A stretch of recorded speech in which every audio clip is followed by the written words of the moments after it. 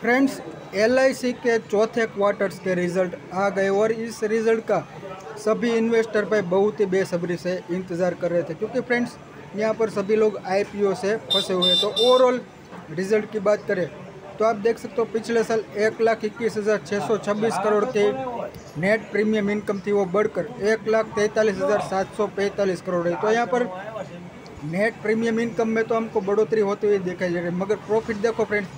पिछले साल अट्ठाईस करोड़ का प्रॉफिट था वो घट कर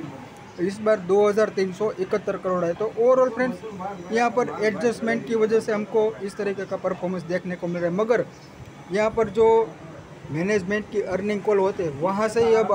आगे आने वाले दिनों में कंपनी की क्या रणनीति है उसके बारे में पता चलेगा और इसके लिए फ्रेंड्स डिविडेंड की बात करें